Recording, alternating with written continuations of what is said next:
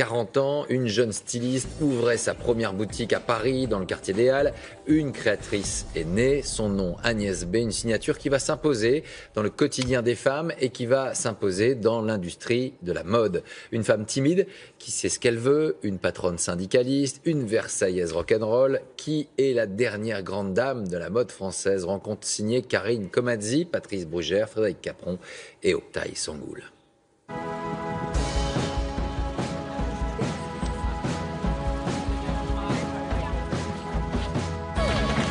Au royaume de l'éphémère, elle règne depuis 40 ans. Agnès B, la dernière grande dame de la mode française. De David Bowie à Jane, la jeune chanteuse à la mode, d'Isabelle Huppert aux acteurs des films de Tarantino, Agnès B habille les plus grands noms et même le président Hollande. À 75 ans, elle s'amuse toujours comme une enfant.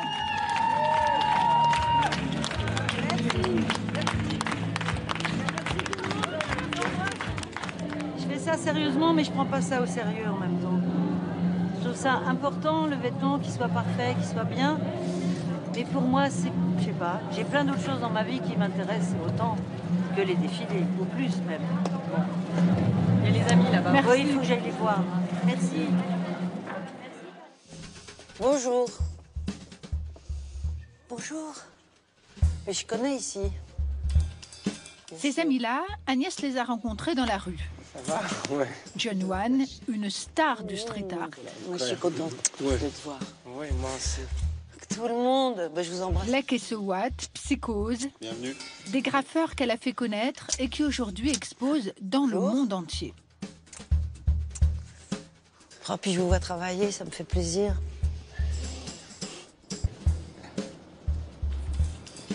Ça, c'est Jim Show. Ça va bien les Tu couleurs sais, sur c'est toi. c'est Jim Show, Oui. avec les zombies. Waouh. C'est une peinture que je lui ai achetée Ah et il m'a laissé faire euh, des habits avec la toile. Waouh. Tu vois les zombies? C'est incroyable ça. Ouais. Mais j'enlève ça parce que ça va faire trop, là. Mais je vais sauter, non? Qu'est-ce que je vais faire? Il fait froid. Qu'est-ce que je suis censée faire?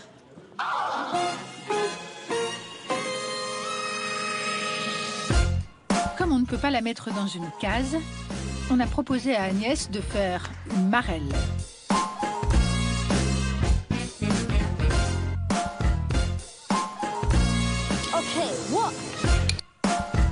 Le vrai nom d'Agnès B donne le ton.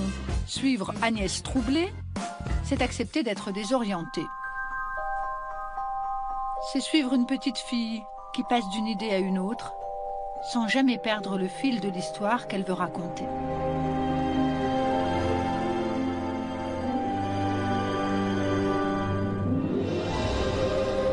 Case départ d'Agnès, c'est Versailles.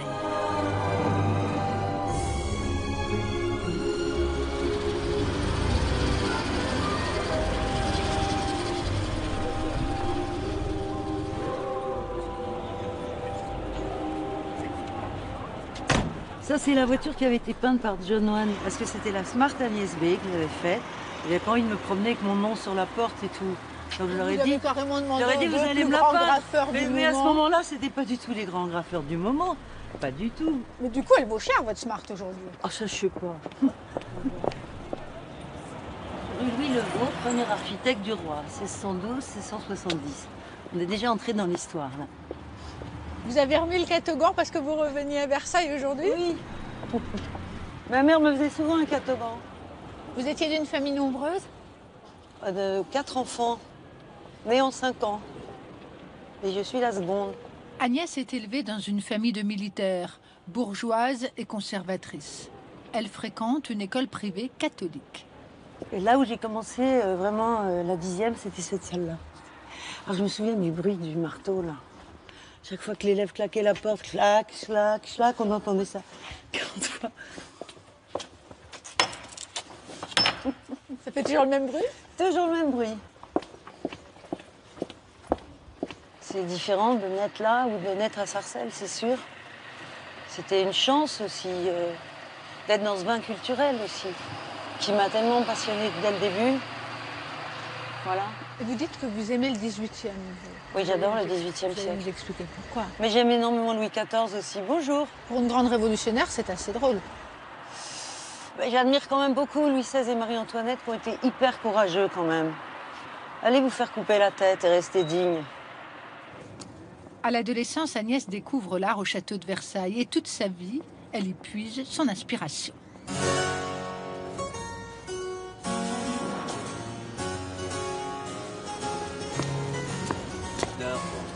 Bah, tu peux marcher avec moi. hein. Ce jour-là, la surprise, c'est qu'elle est arrivée en costume d'époque et accompagnée comme une grande dame. Tout le monde se retourne sur vous, hein. Agnès. Non Si, si. Ils se demandent tout ce qui est. Qu'est-ce que je fabrique hein, Oui. Bah oui, j'ai toujours aimé ça parce qu'on m'a déguisée quand jeune fille euh, avec les paniers, on m'a déguisée en menuet. Avait des trucs costumés à Versailles de temps en temps. Bonjour, messieurs. Agnès aime Versailles. Et Versailles le lui rend bien. Elle a certains privilèges, comme celui de se faire ouvrir des pièces que le public n'a jamais vues.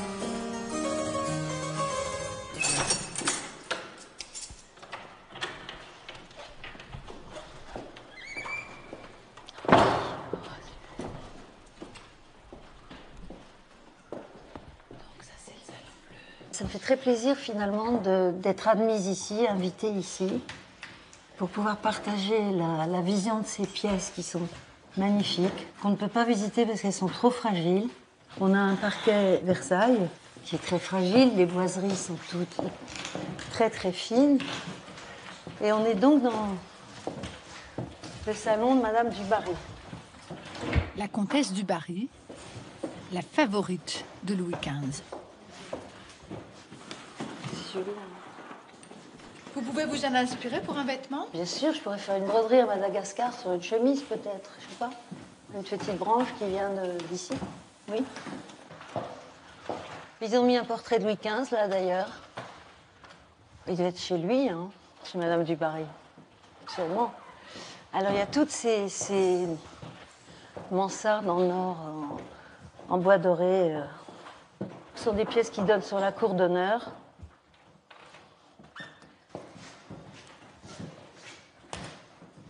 Dirait qu'on serait euh, chez Madame du, Barry et que je serais sa couturière et que je viens lui apporter une nouvelle nuance de gris pour une jupe.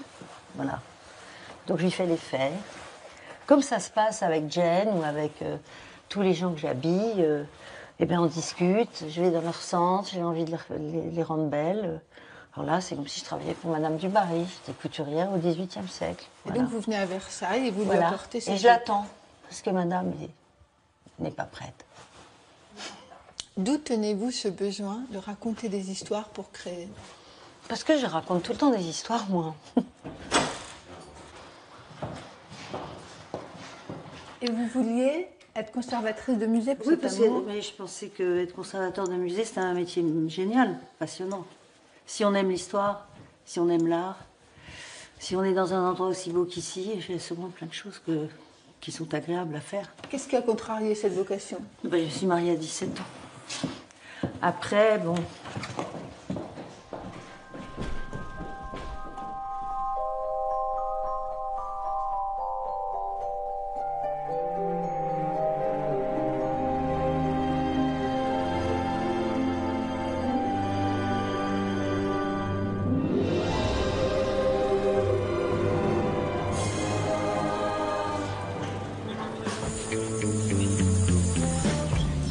Est devenue styliste sur le tard et par nécessité. À 17 ans, elle épouse Christian Bourgois. C'est lui le B d'Agnès B. À 20 ans, elle divorce et se retrouve seule avec ses jumeaux bébés. Jeune mère célibataire et sans le sou, elle a besoin de travailler. Elle est embauchée comme styliste chez les créateurs parisiens. Agnès B, est-ce que vous pouvez nous donner la ligne de l'hiver 69 Euh, encore beaucoup de pantalons, avec des vestes longues et même des gilets très longs à mi-mollet. Et les jupes euh, très courtes aussi. Mais je crois qu'on mettra surtout des pantalons et des combinaisons pantalons d'une pièce. Ce n'est qu'en 1976 qu'elle ouvre sa première boutique rue du Jour, dans le quartier des Halles à Paris. Il faut que j'aille travailler, vraiment. Elle a alors 35 ans et l'aventure Agnès B commence. Aujourd'hui, à l'occasion de ses 40 ans de mode, Agnès redécore la boutique à l'identique. Hein Qu'est-ce que t'en penses? J'étais dans cet endroit, j'arrêtais pas d'arranger. Voilà, j'arrêtais pas d'arranger, puis je m'occupais des gens. La boutique est montée dans l'esprit bohème des années 70. Une bande de copains et un associé qui est son compagnon du moment, Jean-René de Fleurieux. Il a 8 ans de moins qu'elle. On s'amusait, c'est tout. On, on s'est dit, on va faire un endroit vivant. Parce qu'il me voyait quand même euh, styliste pour des boîtes, là. Et euh, il trouvait que c'était dur pour moi. Donc il s'est dit, euh, on s'est dit qu'on allait faire un endroit pour nous. C'était euh, un nouveau genre de boutique, disons. Le bâtiment, c'était quoi avant? Le bâtiment, c'était des- des- une boucherie, en gros. C'était les halles. Donc il y avait des crochets de boucher, là, ben voilà, ils en ont retrouvé tout du long. Là. Quand on est arrivé, c'était gras. On a lessivé, lessivé, gratté. Oh, c'est super, hein C'était comme ça? Ben, On avait nos disques là-bas, c'était pas exactement au même endroit, mais c'est tout à fait l'esprit. hein. Il y avait de la musique toute la journée? Toujours. Il y avait Ariane, qui avait deux ans et demi. ouais. Dans la boutique d'Agnès la 68 Arde, il y a ses enfants, des amis de passage, des plantes et des vêtements d'un style nouveau. Jupons, salopettes, t-shirts rayés. Les bases du style Agnès B sont posées, sa philosophie aussi. J'ai pas envie de changer les gens, j'ai envie que les aider à se sentir mieux, c'est tout. En fait, j'aime mieux les vêtements que la mode, tu vois. Quand je dessine un vêtement, je cherche à ce qu'on puisse le mettre le plus souvent possible, le plus longtemps possible. J'ai pas du tout envie de faire un vêtement euh, éphémère. Les vêtements de ses débuts, Agnès va les décliner pendant toute sa carrière.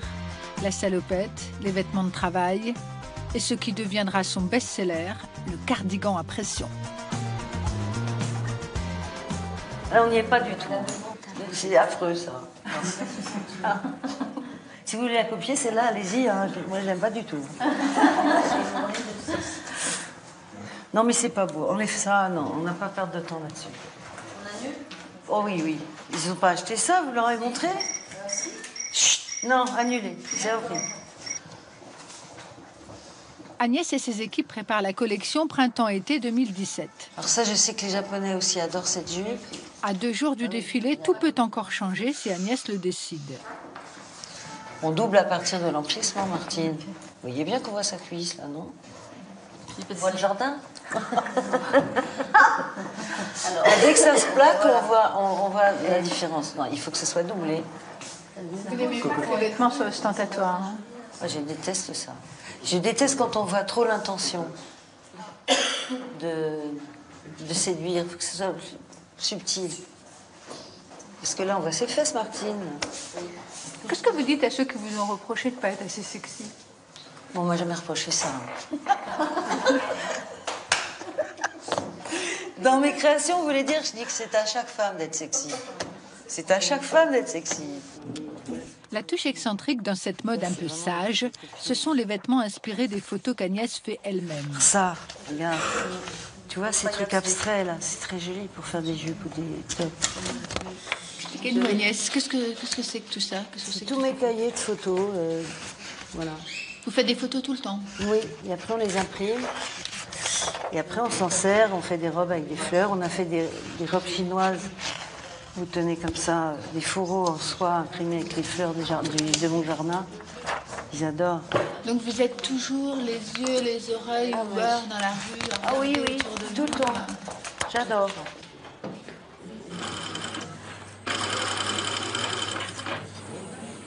C'est ici au deuxième étage, dans les ateliers, que les modélistes transforment les photos d'Agnès en vêtements. La difficulté pour nous, c'est de le retraduire dans un volume de vêtements. Puisqu'Agnès, en général, quand- lorsqu'elle fait sa photo, ne souhaite absolument pas que nous coupions quelque chose. On la déforme. Voilà, que, que nous déformions cette photo. Donc, C'est- on- C'est assez génial euh, d'imaginer qu'elle a vu ça dans l'eau et qu'elle s'est dit je fais un vêtement avec. Voilà, c'est je quand même trouve que ça, c'est très significatif.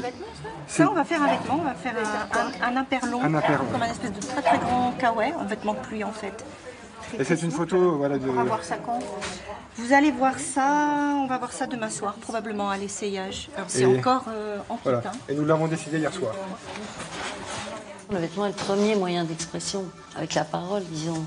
Donc vous dites aux jeunes, exprimez votre liberté à travers les Exprimez-vous, vêtements. euh, oui, soyez vous-même. Moi, J'ai toujours ça. hein. Be yourself, euh, ça fait longtemps que je dis ça. Soyez vous-même, mais n'emmerdez pas les autres, voilà. Alors là, il y a un petit défaut sous cette manche, mais sinon, c'est très joli, je trouve. Ça fait euh, sage, hein, mais... Mais ils aiment bien le côté sage, les naughty girls, là.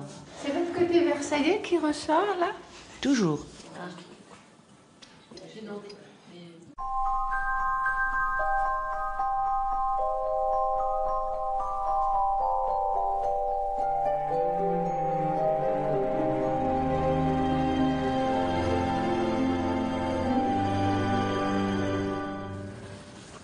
c'est fermé là, bon, faut que j'aille à bout.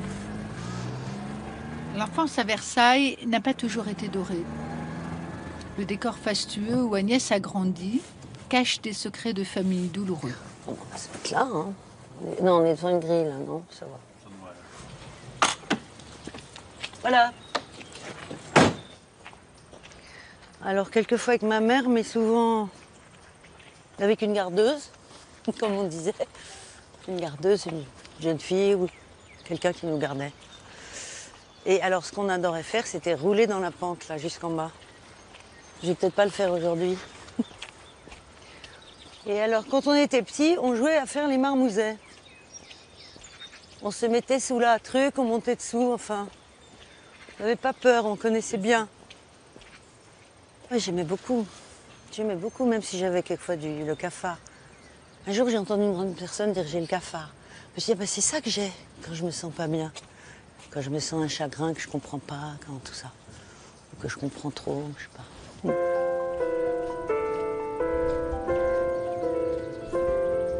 Les parents d'Agnès ne s'entendent pas. Mais dans ce milieu très conservateur, on ne se sépare pas. Les enfants le supportent difficilement. Ma mère était lunatique, euh, pessimiste. euh, Moi, j'étais le contraire, comme mon père, très optimiste, euh, de nature. Par moments, on se faisait casser notre optimisme, quand même. Elle a décidé qu'on devait la vouvoyer, notre mère. Mon père a dit, mais sûrement pas. Qu'est-ce que c'est que ces conneries Vous me tutoyez, moi? Mais ma mère a décidé qu'on devait la vouvoyer. Elle trouvait ça plus chic.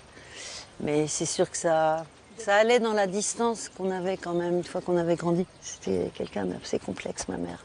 Très jolie femme, très qui pouvait être aussi charmante que atroce. Quand on pleurait les uns après les autres, on ne pouvait pas s'en parler. On s'en parlait pas. On se parlait pas de ce qui allait pas. On levait les yeux au ciel ou un truc comme ça, mais c'est tout ce qu'on faisait. On s'en parlait pas entre nous. On pouvait pas. On savait bien que ça allait pas. On vous a entendu euh, évoquer de manière très pudique ces une grosse douleur. C'est quelque chose dont, dont on s- vous êtes remise grâce à votre film. Comment avez-vous fait pour Bah, J'ai fait un film par rapport à.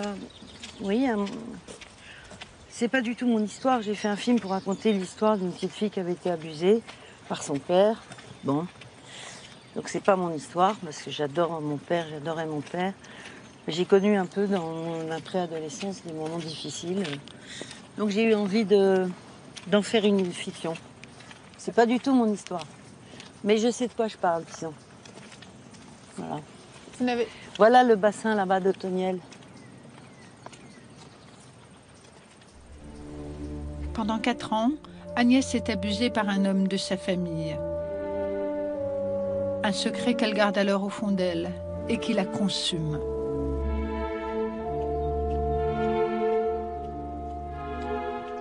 Je devais avoir 13 ans à peu près. Et je trouvais que la- ma vie était difficile, que j'avais beaucoup de problèmes, que j'avais du mal à gérer des histoires, tout ça. Et puis j'ai commencé à écouter quelque chose que j'avais jamais entendu. qui me bouleversait absolument. Et donc j'écoute ce requiem de Mozart et je me dis, mais ce que j'aimerais, c'est aller voir Mozart au ciel, en fait. Je serais bien mieux.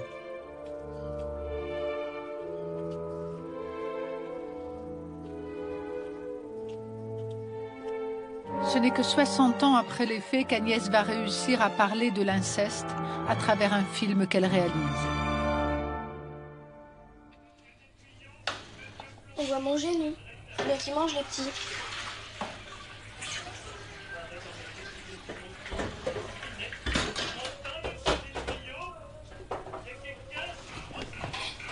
On va monter, non? Allez. Laisse-moi au moins poser leur assiette.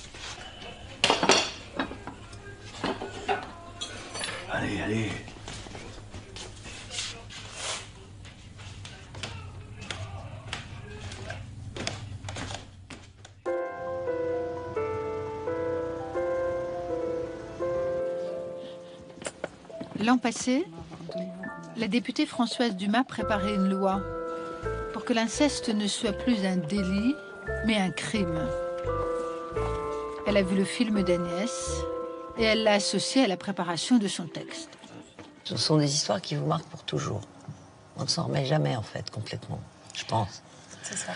C'est pour ça que c'est très important de le dénoncer, c'est très important qu'il y ait une loi, c'est très important qu'on puisse poursuivre les gens, même qui n'indiquent pas qu'il se passe quelque chose de pas normal. Ce qui était intéressant, c'est qu'elle puisse m'apporter aussi ce regard extérieur dans la manière dont on travaillait ces, ces textes. Et je crois que ça, son attention particulière à l'intérêt de l'enfant m'a aidé, m'a inspiré en fait, dans la manière dont on avançait sur ces travaux. Nous aimons les enfants, nous avons envie de les protéger, chacune à sa manière. Moi, au quotidien, j'ai beaucoup d'enfants autour de moi. Mais là, c'est collectivement protéger l'enfant de, de prédateurs éventuels ou de prédateurs reconnus, c'est-à-dire une loi qui aille plus loin que ça n'allait avant, et bien plus loin que ça n'allait avant. Voilà comment Agnès s'est retrouvée à faire de la politique. Ce jour-là, c'est la première fois qu'elle vient à l'Assemblée nationale. Un honneur qu'elle apprécie en patriote, tout comme ses décorations qu'elle a reçues. Ordre du mérite, Légion d'honneur, arts et lettres. C'est de la croix qui a peint ça. J'ai eu sept fois des médailles. Et vous en êtes très fière Ben, je suis fière. Ça veut dire que j'ai peut-être fait quelque chose pour mon pays, à ma Oui. manière. Oui. Je trouve qu'elle est l'incarnation de la France. Ouais, c'est vrai. C'est une vraie belle femme. encore une médaille, C'est une vraie belle femme.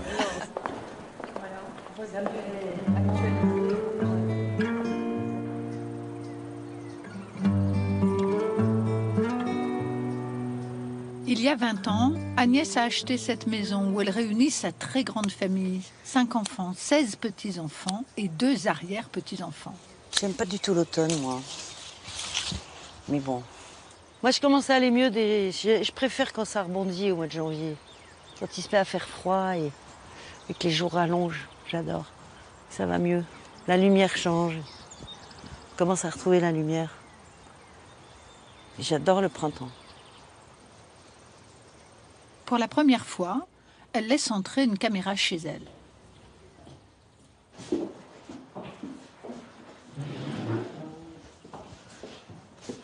Ça, c'est un dessin de Basquiat. Un petit dessin de Basquiat que j'aime beaucoup. Et ça, ça j'aime beaucoup. C'est un Écossais. C'est que des allumettes brûlées. Il se moque des mythes de notre époque. Le nounours. Donc lui, il se bouffe le nounours. C'est David Mack. Je l'ai acheté il y a 20 ans au moins. Ça n'a pas fait peur à Léon, ça? Mais j'aime bien, il faut qu'ils aient un peu peur de trucs comme ça. Ça les intéresse en plus. Léon, c'est son petit-fils de 4 ans, qu'elle garde tous les mercredis Mange ça, matins. déjà. Mange. Mais pourquoi Mais si t'as dit que c'était bon. Ou alors on le chauffe parce que c'est froid. Alors peut-être tu aimes pas froid. Je fais la cuisine depuis que j'ai 8 ans, je crois, pour mes frères et sœurs, puis, puis pour mes enfants, puis pour mes amis. puis- Voilà. Vous êtes une femme Normale. Comme le président normal, je suis une femme normale. Voilà. J'ai pas entendu, s'il te plaît, moi. Mais dit quoi Agnès vit dans l'aisance aujourd'hui. Mais plus jeune, elle a connu les fins de mois difficiles. Même si j'étais d'une famille bourgeoise, euh, bah, je me suis débrouillée. Même quand j'avais les jumeaux, j'habitais au cinquième sans ascenseur, alors j'en avais un sous chaque bras. N'avez-vous pas demandé d'aide pas à- mangé bien du tout, hein. Bah ça va pas du tout, hein. Pourquoi vous n'avez pas demandé d'aide à ce moment-là à votre père ou à Non, je, premier demandais rien d'ailleurs. Divorcer, tout ça. euh, mes parents se disaient, bon, elle n'en fait qu'à sa tête, bon, qu'à se débrouiller. Agnès n'a pas oublié ses blessures, mais avec le temps, elle s'est apaisée. Vous êtes toujours en quête d'harmonie. Vous aimez que ça soit beau. Oui, j'adore la recherche de l'harmonie. Un truc anglais, c'est looking for harmony. J'adore cette phrase. Moi, j'aime bien créer l'harmonie. J'essayais chez moi, dans ma famille aussi, qu'il y ait de l'harmonie. Oui, autant qu'on pouvait. Il y a quelque chose de d'une réparatrice chez vous. J'ai bien réparé les vélos. Mais pas que les vélos. Non, les vélos, c'est pas mal les réparer, oui. Ma fille aussi, d'ailleurs, Aurore.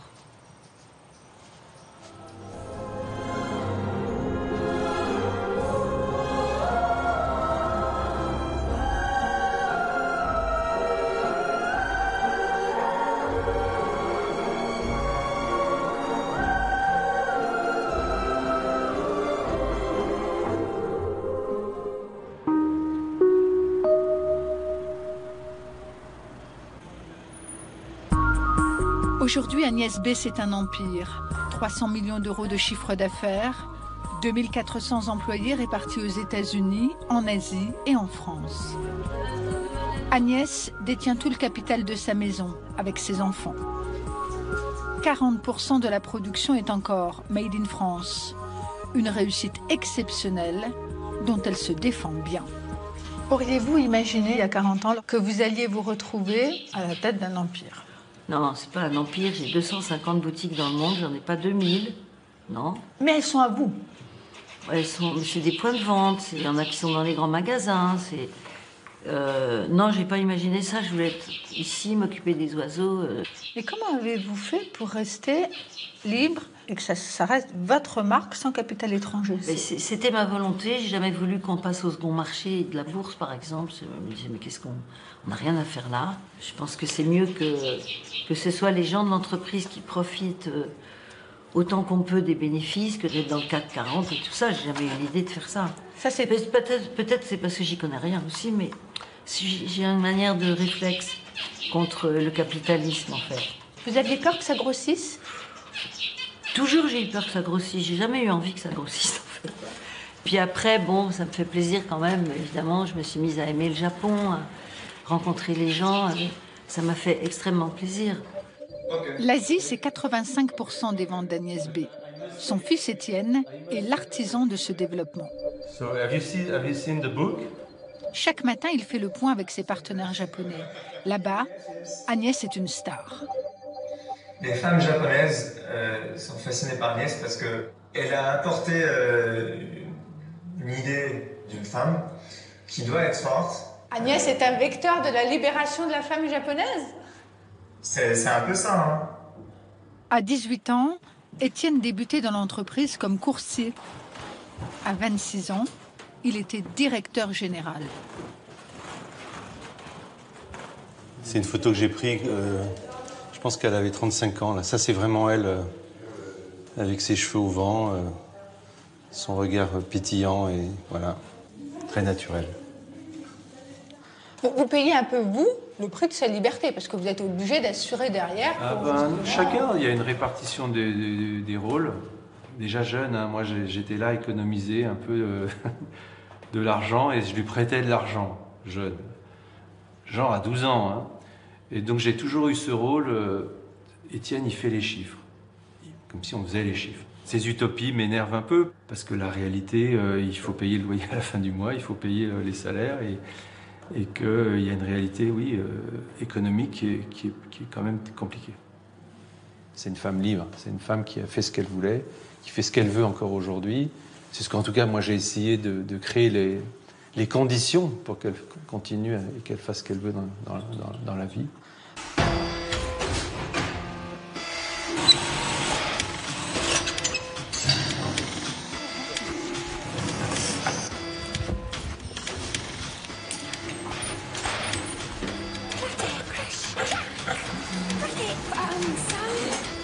Vous vous souvenez de cette photo d'Agnès? Un reflet dans sa piscine qui devait devenir le motif d'un impair.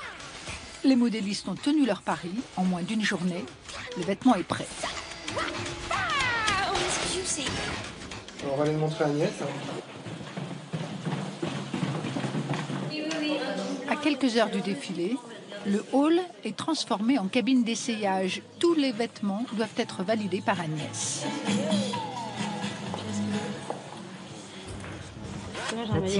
C'est joli comme ça.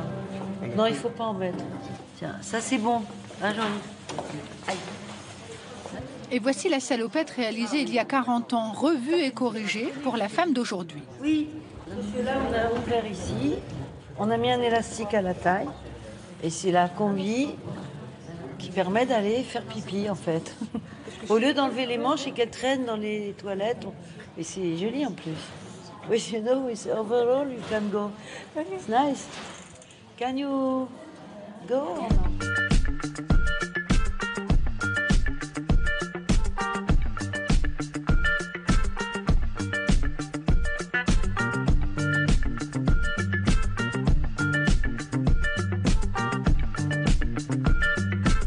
Cette année, Agnès B fête ses 75 ans et ses 40 ans de mode.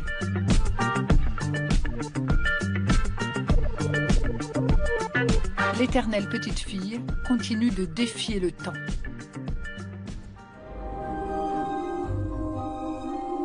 Moi, je me sens pas du tout empêtrée de mon âge. Et puis c'est chacun son tour d'être jeune aussi, je me dis ça souvent.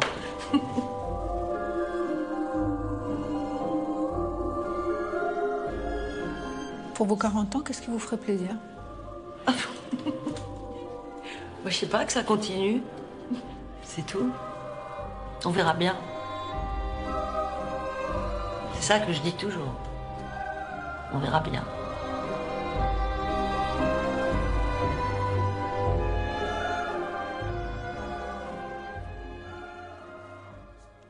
À chacun son tour d'être jeune. Voilà pour ce portrait d'une femme libre.